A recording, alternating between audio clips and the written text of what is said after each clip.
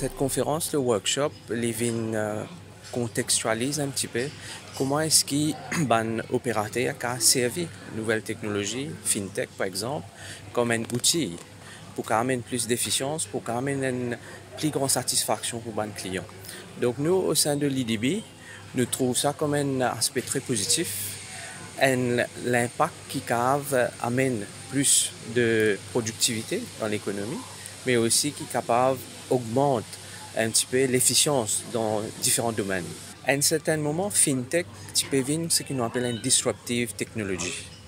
Aujourd'hui, il n'est plus une disruptive technology. Nous pouvons comment FinTech a intégré dans le mainstream pour amener plus d'efficience. Dans le secteur touriste, nous pensons que FinTech a joué un rôle extrêmement important.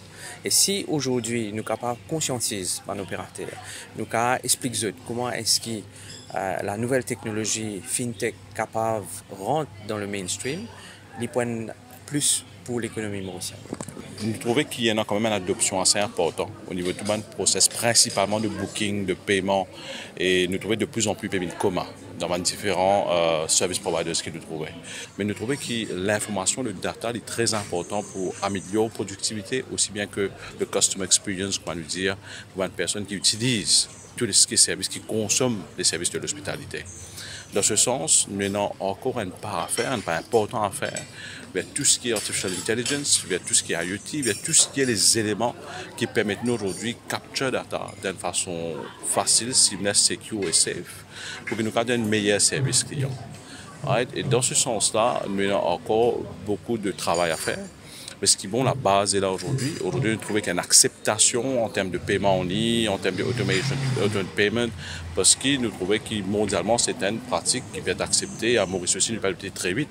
Et le pourquoi aussi, c'est parce que le secteur aujourd'hui est influencé par l'étranger qui se même PCFD dans notre pays. Cause un système de paiement, par exemple, qu'on appelle Financial Technologies, à travers des technologies de paiement ou de, de finance, c'est qui nous, nous, génère un certain nombre de data qui permettent de créer une intelligence additionnelle à travers Artificial Intelligence Technologies pour nous capables d'améliorer le service vis-à-vis des clients et nous capables plus proactifs d'anticiper les besoins de nos clients.